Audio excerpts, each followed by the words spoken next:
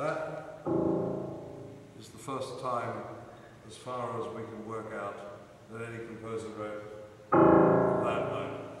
Um, first time it was published also is this piece. Second time it was published as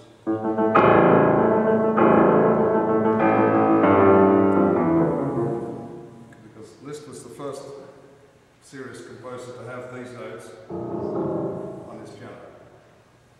If ever, you hear people playing notes below the bottom C in music by Schumann or Chopin, they are being false to the text because neither of them had it or wrote it.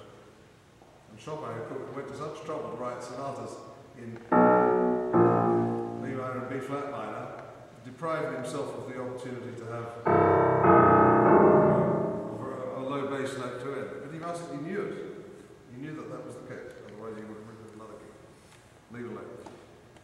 This tremolo, tremolando just means a way of playing. It doesn't mean play it freely. Liszt always writes the word tremolando when he writes that sort of thing. For my money, there is no doubt whatsoever that you're supposed to play 16 notes. Um, and here you're supposed to play more in order to account for the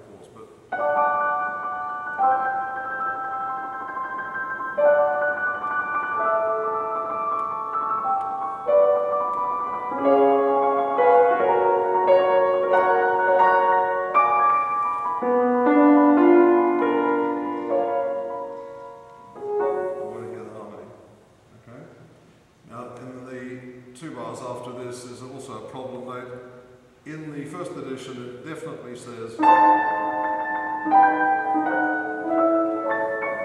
But in the manuscripts of the first version and the second version, although it's slightly written differently, but it's written. And if the tune is.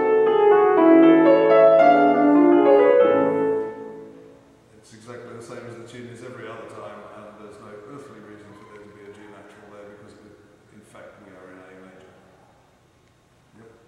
So I, I think it's just a mistake by both Edition Musica Budapest and bec- but in both cases because they only consult the final manuscript and don't look at the other versions because they haven't decided. Um,